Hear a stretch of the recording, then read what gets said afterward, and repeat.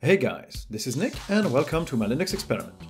Gaming on Linux is now a reality. A ton of games work perfectly thanks to Proton, DXVK and Steam. Some games still aren't available through Steam though, and managing all the different sources and installing various games manually can be a pain. Fortunately, there is a handy application that allows you to group and launch all your games from a single interface and install new games with handy scripts that do all the work for you. It's called Lutris and we're going to take a look at it right after this. Thanks to Skillshare for sponsoring this video. For those who haven't heard about it, Skillshare is an online learning community which has plenty of courses on every single topic you could imagine. Whether you want to reinforce your skills in something you already know, learn something new for your job, or just dabble in a new hobby, Skillshare has something for everybody. Like, since we're talking about Linux, uh, you could try to become a Linux sysadmin, or just look at how to use the command line, or reinforce your knowledge of the Linux system architecture. There's plenty of stuff. I've been learning how to make better IRL videos, and even though I'm recording on a smartphone, I think I'm getting good results thanks to this uh, film lighting class that I've been taking. Now, Skillshare is simple and affordable to use. You can sign up for free, but if you want to delve deeper into your course or just use the offline videos, then you can subscribe for as little as $8 a month.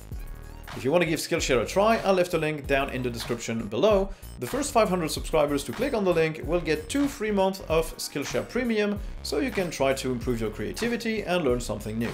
Now, let's get back to the video. What is Lutris and what can it do? Lutris has been created in 2009 by Mathieu Comandon. He wanted an easier way to manage his games running on Linux, especially the ones that ran using Wine, and so he decided to create an Oblivion launcher first, which quickly evolved into Lutris. This program now has 167 contributors and more than 60 releases. But what is it? It's a game manager for Linux, which can pull games from various services like Steam, Humble or Good Old Games, but also your games installed through Steam running with Wine, native Linux games, browser games or emulated ones.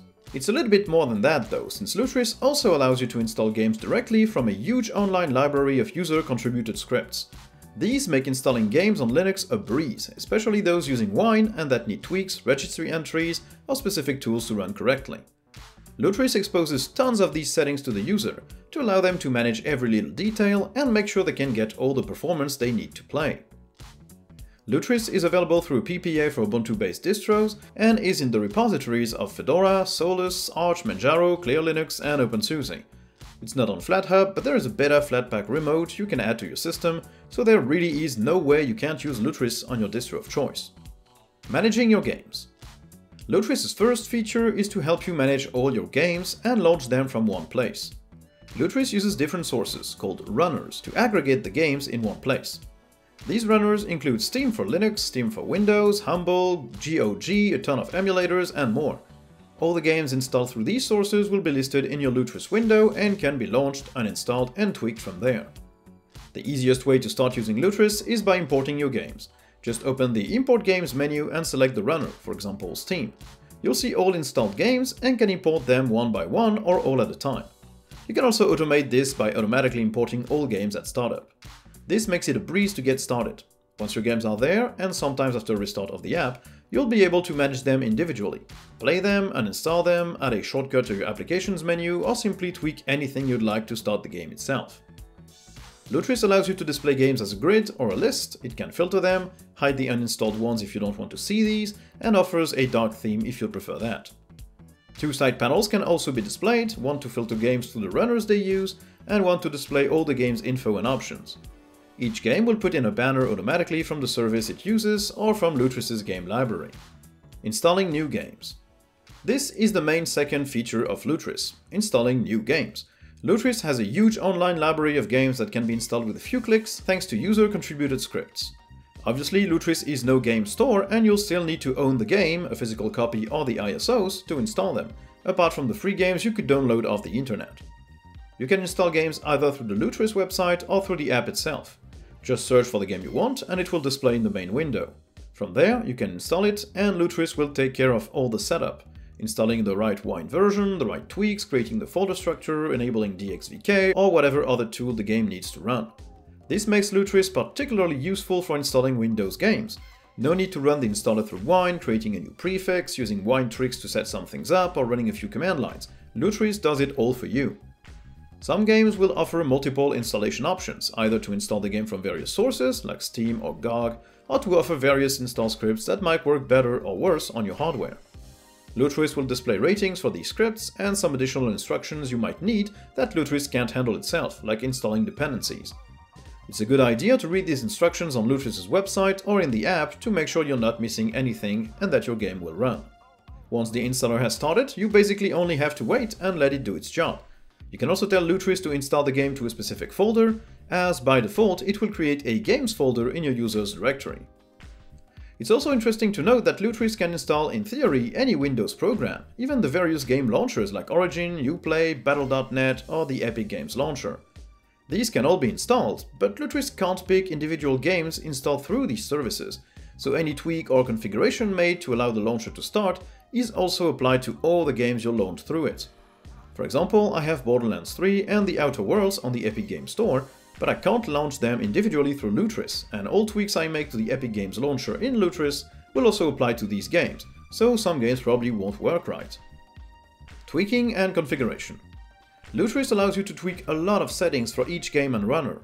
While games installed with a Lutris install script won't need these, since they will apply them all for you, games you install manually or through Steam might benefit from a few tweaks here and there.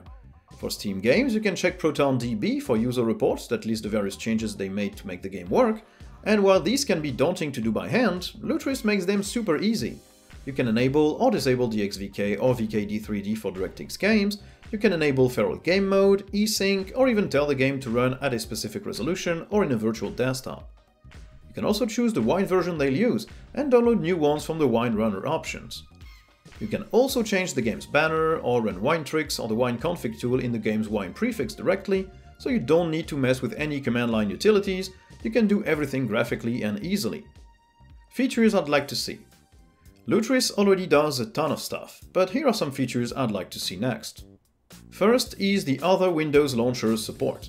If Lutris could pick individual games from the Epic Games Launcher, Origin, Uplay or Battle.net, it would be fantastic and would allow more games to run without issues with their specific tweaks and settings. Second is adding support for the various game overlays like Mango HUD or G-Overlay. This would allow to start the games with these performance overlays immediately available and make for a nicer experience for number nerds. Third is integrating some mod managers into Lutris, allowing the users to pick various mods to launch with the game without having to launch a dedicated mod launcher would be perfect, even though it would probably mean having to implement modding support game by game in Lutris directly. To conclude, Lutris is already the best Linux gaming tool available out there. It mixes the easy installs of Play on Linux with a very complete game library manager, and all the settings you could ever need to make sure your games can start, whatever their source or the OS they're supposed to run on.